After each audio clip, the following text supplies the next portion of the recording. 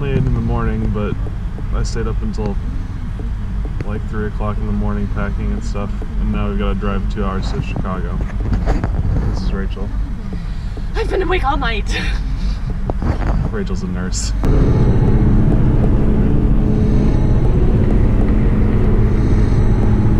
Plane tickets to Hawaii were a lot more expensive from Indianapolis than from Chicago. So Rachel and I just drove from Indy to Chicago early in the morning to get to the in laws who are taking us from their house to Chicago O'Hare so that we can save like 200 bucks each, which is a pretty sweet deal. But it just makes travel that much more exhausting because now you're driving and flying and getting up early and just hating life. So we'll get there.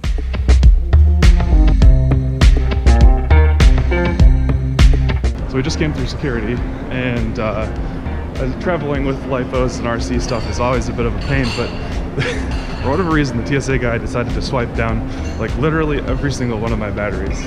Like all, all 30 sides, all four sides of each, so he had to make 100 swipes, 120 swipes. I'm just kind of sitting there with like other people piling up behind me to get their bags checked, feeling super embarrassed about that, but uh, oh well.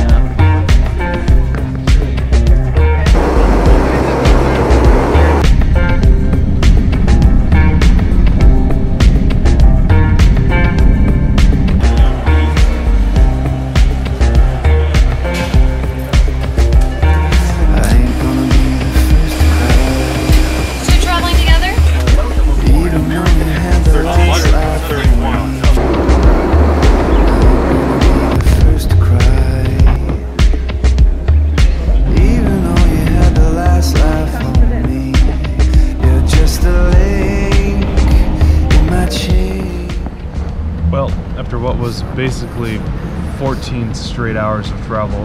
We have arrived in Honolulu. And my wife is currently, I was waiting for checked baggage and my wife is dealing with figuring out the rental car situation. Um, apparently our bank is giving us a hard time about traveling and we forgot to notify them and we have a small bank so it's uh, harder to reach them so we're like what do we do I think we're writing a check or something like that so, anyway, it's all good. Hopefully, we're gonna get a chance to rest soon.